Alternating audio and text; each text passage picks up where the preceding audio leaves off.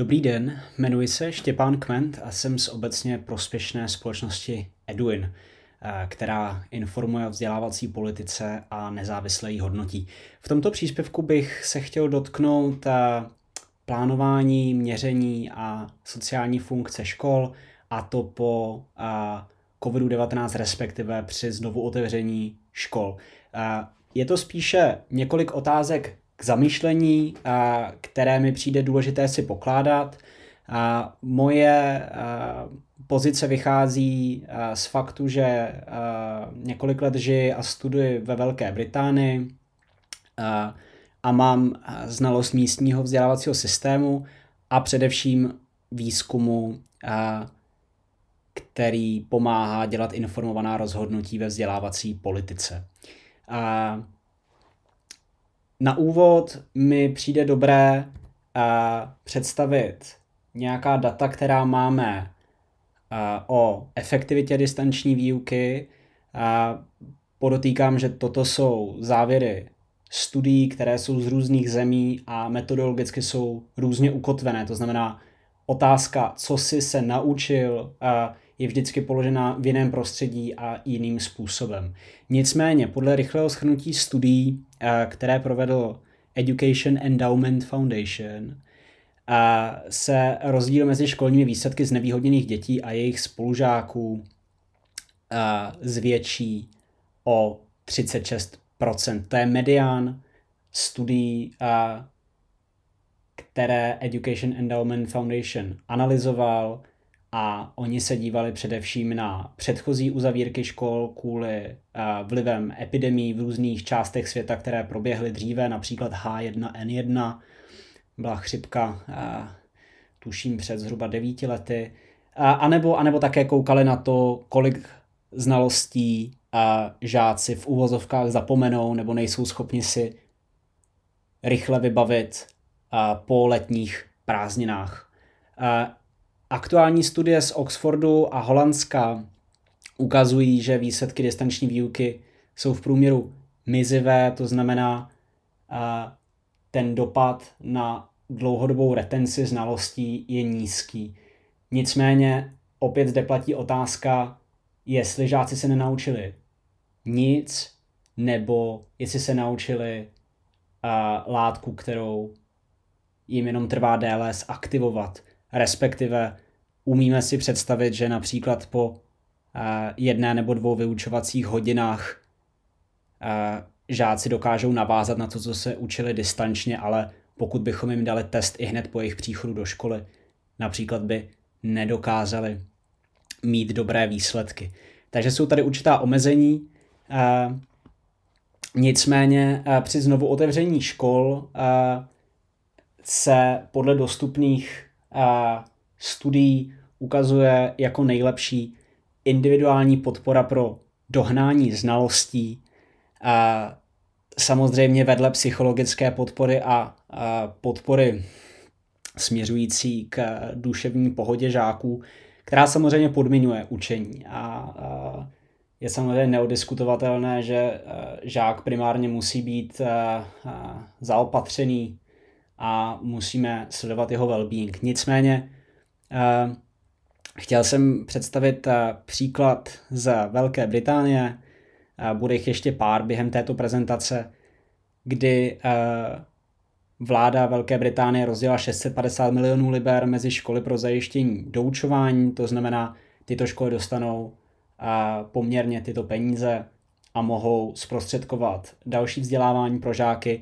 350 milionů skrz program National Tutoring Program uh, jde do nejpostiženějších škol a uh, zde uh, akademické nebo výzkumné pracoviště vládní ve vzdělávací politice, jak jsem zmiňoval Education Endowment Foundation, vybral uh, partnery pro doučování a uh, bude je školám poskytovat za zvýhodněné ceny. Navíc v těch nejvíce znevýhodněných školách a získají tyto školy podporu najmout takzvané akademické mentory, kteří mohou koordinovat a, a zajišťovat spravedlivé do, do, dohnání učiva, respektive aby se pamatovalo skutečně na každého žáka. Jinými slovy, o co jde? je, že vláda má zájem o žáky a o spravedlivé podmínky pro zajištění jejich znalostí a dovedností, které mohly vypadnout během distanční výuky. Můžeme to srovnat s českým přístupem, kde je zajištěna zdarma podpora od studentů z pedagogických fakult.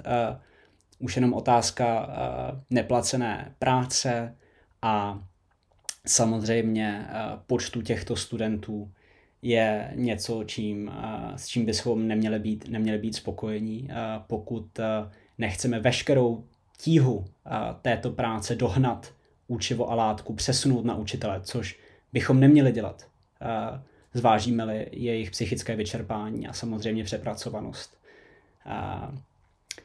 Když se posuneme dál, tak z výzkumné perspektivy si v Česku klademe několik otázek. Já jsem vybral poslední tři tiskové zprávy Eduinu, které jsou o nejasné kvalitě distanční výuky, potom o efektivitě distanční výuky v České republice, tak abychom znali výsledky z českého kontextu. No a také podpory, je tady otázka podpory socioekonomicky znevýhodněných dětí a rodin, které nemají připojení k internetu. Například mají techniku, ale nemají připojení k internetu. Nicméně otázky, které my si můžeme klást, jsou významně omezené tím, jaká data máme, respektive jaká výzkumná kultura existuje a na co se ptáme.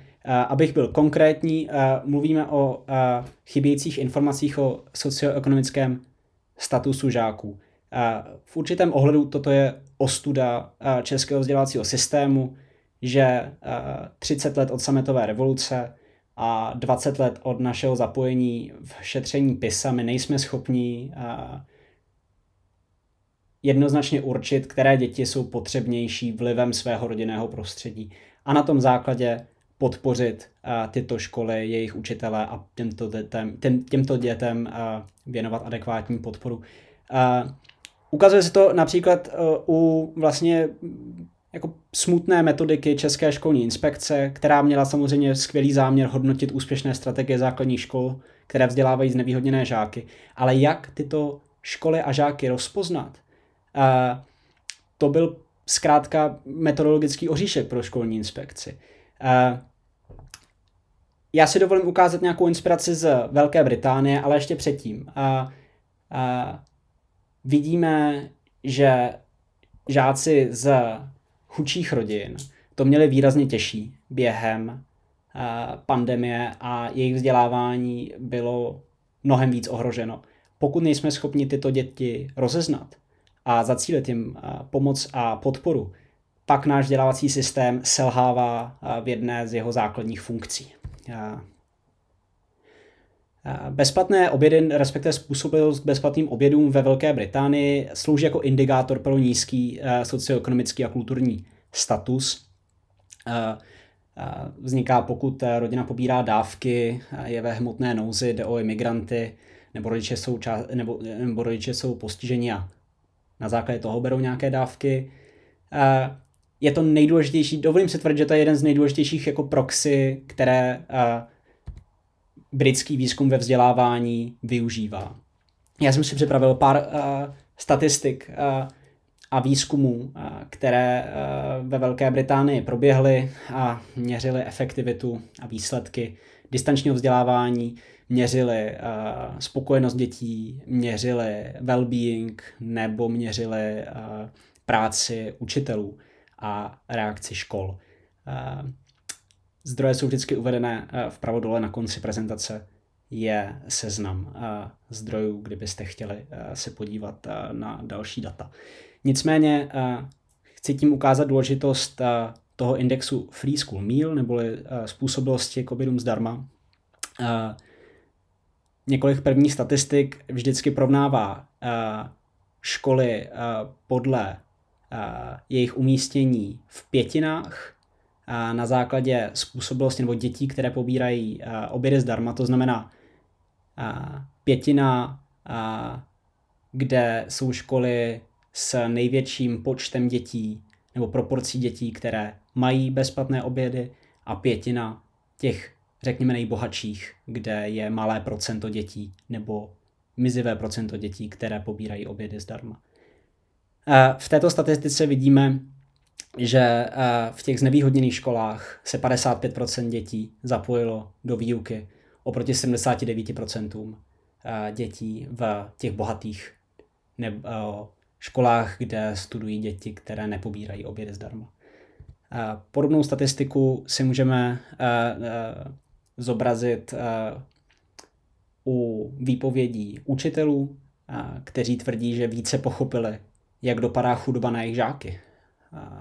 Jsme schopni díky Free School Meal indexu říct, že ve, ve, ve školách, kam dochází tito žáci, to bylo 48% učitelů oproti 16% učitelů v těch bohatších školách. Překvapivě pak jsme schopni dospět k závěrům, které pomáhají vzdělávací politice. Například tady nás může překvapit, že jenom 15% škol, kde studuje velký počet znevýhodněných žáků, rozdávalo nebo půjčovalo technické vybavení oproti 28% škol, které půjčovalo vybavení. A to jsou školy, které, kde studují, řekněme, ti nejbohatší žáci nebo žáci ze středostavovských rodin. Jsou tady další statistiky, kterými už spíše jen tak projedu, ale chtěl jsem vlastně ukázat třeba i kvalitu výuky. Tady vidíte opět rozdělení na pětiny, kde je tedy první pětina. Máte teda, je, je tady, je tady, jsou tady soukromé školy jako fialové a pak rozdělení od těch nejzaopatřenějších až po ty nejdeprivovanější školy. A je tady vidět, že v těch nejdeprivovanějších školách se nejvíce využívaly fyzické materiály. Další graf nám ukáže, že studenti v nejdeprivovanějších školách neodevzdávali vypracované úkoly zpátky. Takže vidíme, že je tady jasný dopad nebo jasný vliv mezi tou způsobilostí covidu zdarma a školní úspěšností. Podle toho pak samozřejmě lze cílit určitá opatření. Na závěr e, jsem si ještě připravil e, takový e, graf, který nesouvisí přímo s koronavirem, ale ukazuje, jak kvalitně sbíraná data v úzlových bodech vzdělávání nám umožňují podívat se na vliv napříč lety v různých demografických skupinách. Takže tady FFT Education Data Lab ukazuje, jak dívky ze, z nevýhod, jako, jak dívky, které pobírají obědy zdarma a nepobírají obědy zdarma, a můžeme se podívat na jejich etnicitu, takže tady jsem otevřel čínský původ neboli Aziatky a, a podíváme se, pokud jejich angličtina je druhý nebo první jazyk, a můžeme se podívat, jaké mají výsledky. Tohle vlastně umožňuje kvalitní identifikace žáků a umožňuje to informovat náš dělácí systém. Aktuálně toto není dostupné, takováto data nejsou dostupná pro výzkum eh, v České republice. Eh, další typ výzkumu, který chybí eh, v České republice který můžeme ocenit ve Velké Británii, je eh, zjišťování dalších sociálních rolí, které učitelé přebírali během lockdownu. Eh, a je to důležité, protože eh, nás zajímá pracovní vytížení učitelů, zajímá nás, jaké další funkce a role plnili. Jinými slovy, co žáci a jejich rodiny potřebovali. Takže tady vidíte, že pro učitele byla priorita zjišťovat, jak jsou na tom eh, rodiny žáků s duševním zdravím eh, nebo sídlem. Pomáhali rodičům, aby se děti uměly doma učit. nebo pomáhali rodinám zajistit další finanční prostředky, pokud tedy byly v nějaké hmotné nouzi nebo se do ní dostali. Další graf nám ukazuje, jaké typy pedagogických pracovníků uh, vedli diskuze s rodiči uh, a o čem. Tedy jestli například je navštěvovali fyzicky v jejich, v jejich místě bydliště. A samozřejmě tato data nám pomůžou tuto práci ocenit, ať už finančně nebo personálně, a pomohou nám pochopit, co je potřeba, abychom zajistili kvalitní vzdělávání. Uh, na závěr uh, je to vlastně průsečík toho, o čem jsem teď mluvil. Uh, je tady vidět, že vyšší prioritu, respektive, že rodiny, které jsou znevýhodněné a jsou v té čtvrtině, ve čtvrté čtvrtině, tak vyžadují více času. Rodiče jsou navštěvováni častěji učiteli, ale to také znamená, že učitelé musí investovat více času, škola investuje více prostředků do uh, těchto rodin a jejich podpory. Touto prezentací jsem chtěl říct, že nám chybí indikátor sociálního, ekonomického, kulturního znevýhodnění. Byť způsobilost covidům zdarma ve Velké Británii postihuje jenom část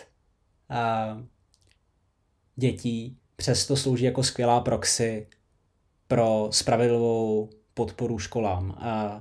V tomto příspěvku nebudu zmiňovat, jak školy jsou podporovány, ale na základě počtu dětí k ním směřují, uh, počtu dětí způsobilých covidům zdarma k ním směřují extra finanční prostředky. Nicméně chybí nám tato proxy v České republice, Chybí nám výzkum, který by byl uh, dobře zaměřený na uh, znevýhodněné děti a, a abychom uměli zlepšovat jejich výsledky, musíme je nejdřív umět rozpoznat, protože jinak děláme sisyfovskou práci a neumíme dělat zacílená opatření, abychom uh, zlepšili výsledky těchto dětí. Uh, tady jsou ještě na závěr zdroje a já se budu těšit na diskuzi v panelu. Děkuji a nashledanou.